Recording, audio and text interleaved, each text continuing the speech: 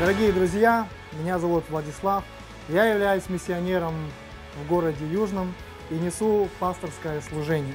И я начал молиться о том, чтобы Бог послал меня на миссию. И вот какое слово Бог дал мне.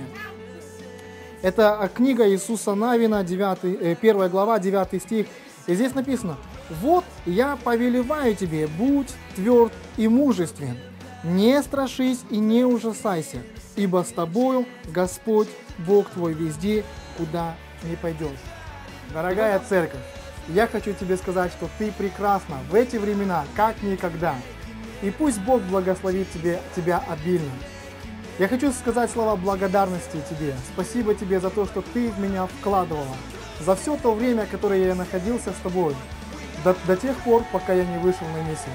Я хочу сказать, передать, во-первых, всем привет э, от всей своей семьи и сказать тебе, драгоценный мой пастор, я люблю тебя.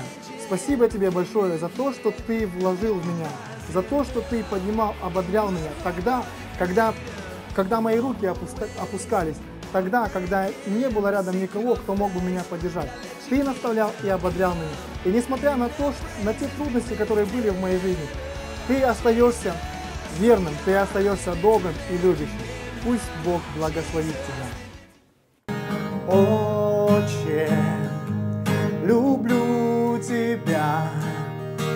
сердце мое жаждет видеть тебя.